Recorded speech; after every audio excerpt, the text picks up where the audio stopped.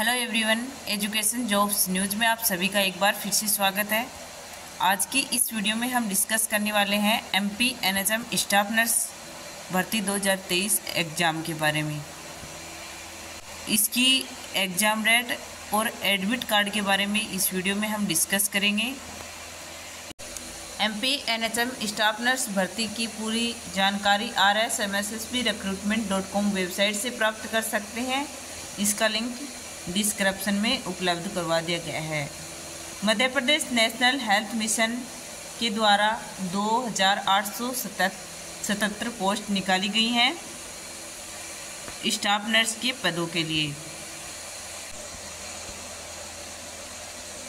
Post name, staff nurse, number of vacancy दो हज़ार आठ सौ सतहत्तर पोस्ट हैं। इसका सिलेक्शन रिटर्न एग्ज़ाम के आधार पर किया जाएगा। Exam date will be notified soon.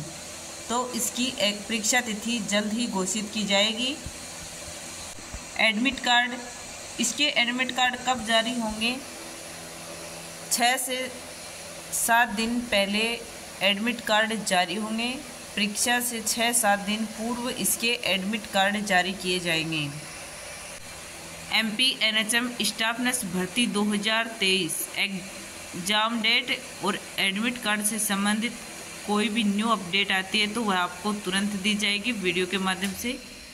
Channel को सब्सक्राइब नहीं किया है तो सब्सक्राइब अवश्य कर लेना, जिससे कि सभी अपडेट आपको तुरंत प्राप्त हो सके। वीडियो को लाइक, शेयर करें। Thank you.